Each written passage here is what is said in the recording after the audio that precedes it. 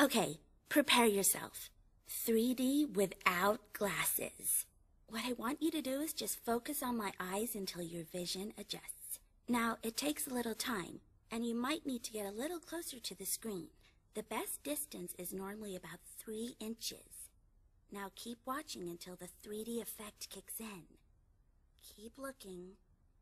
Almost there.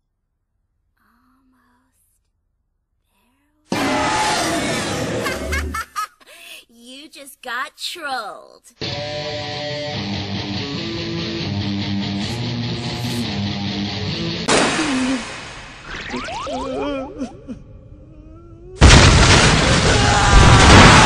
Nice! He's using the blast to give himself more momentum.